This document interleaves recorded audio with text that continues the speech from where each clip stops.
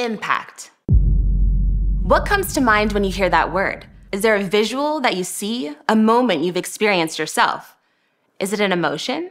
Does it immediately meet you where you are, or does it gradually rise and crash into you? Is it something you did to someone, or that you did to yourself? Did the impact happen to you?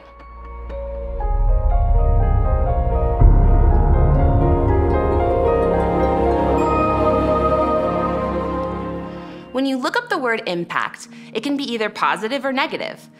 The definitions are the action of one object coming forcibly into contact with another, or have a strong effect on someone or something. The first impact that I can remember on my life was in fifth grade. And I was an only child. My mom and my dad were these unique pillars that held me up. My dad was this sturdy oak tree of a man, very rooted in family, and to me, the best playmate. My mom, she was like this steady sun. She's constant and joyful. She made every day brighter and showed me how to dream. She believed I could do anything. These two pillars were like the bumpers to my life. Any impact that I came into, they guarded me, they protected me, and helped me bounce back, and I thought nothing could break us. Until they told me they were getting a divorce.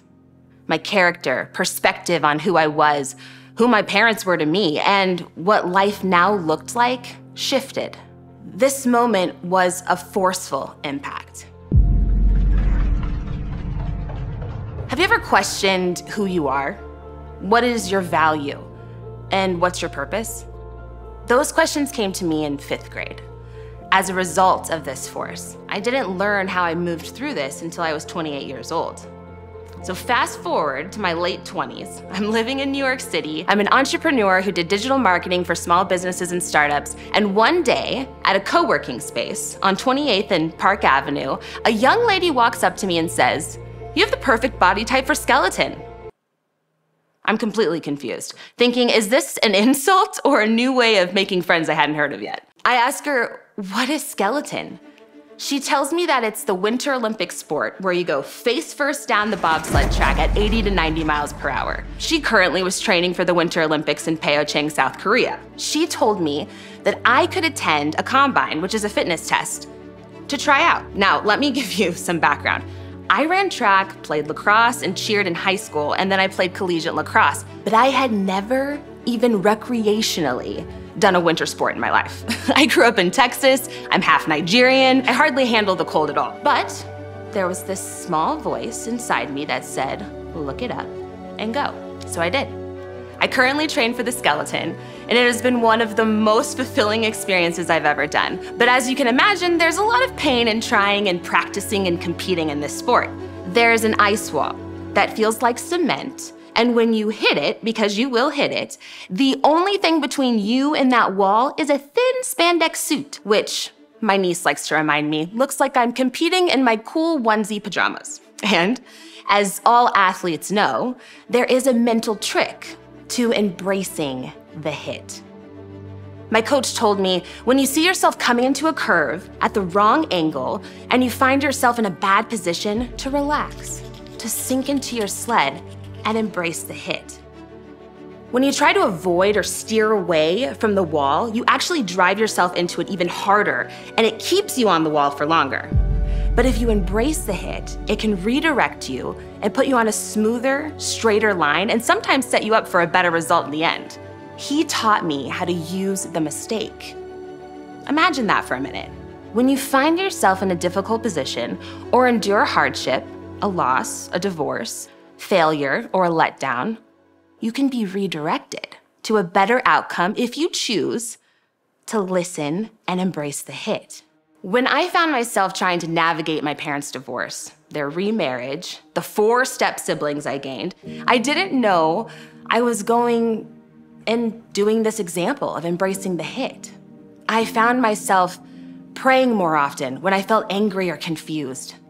I turned to my Heavenly Father and He showed me another way to give Him the burden and show love to others, not dwell in pain or steer away from the unfamiliar. He said, Let's use this to learn who I've made you to be. This impact refined me. It chiseled me out, and now I can see the perspective of what family can look like. What I didn't tell you is that I'm also adopted. I have birth parents, adoptive parents, and step parents, and with all six lines, I am one of nine siblings. My family members and I have had to build these relationships.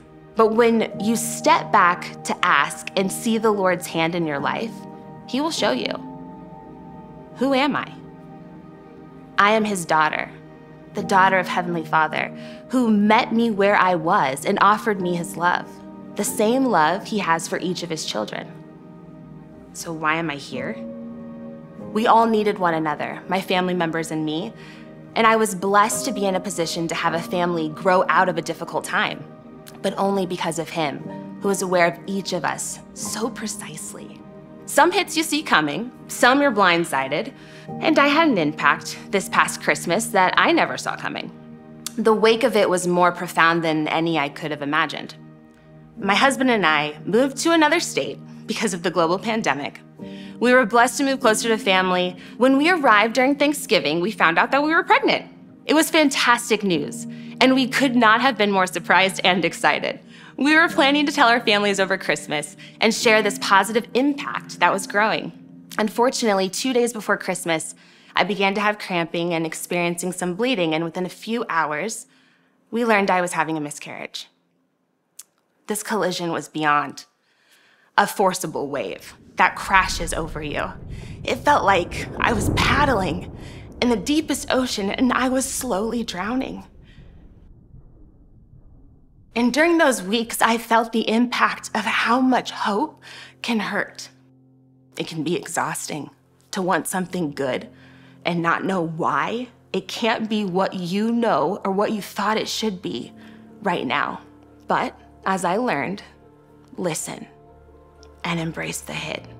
I found myself on my knees praying, almost wrestling with Heavenly Father to help me. And it wasn't till weeks later that a phrase began to repeat in my mind that all these things shall give thee experience. I gained a measure of empathy for parents and motherhood. I was taught that his timing is so perfect that it's unimaginable.